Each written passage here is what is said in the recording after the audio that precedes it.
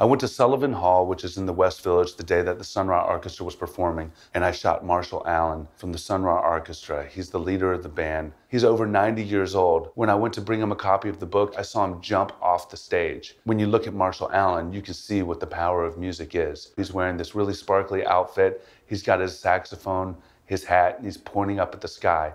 Ra always sang about Saturn and said space is the place.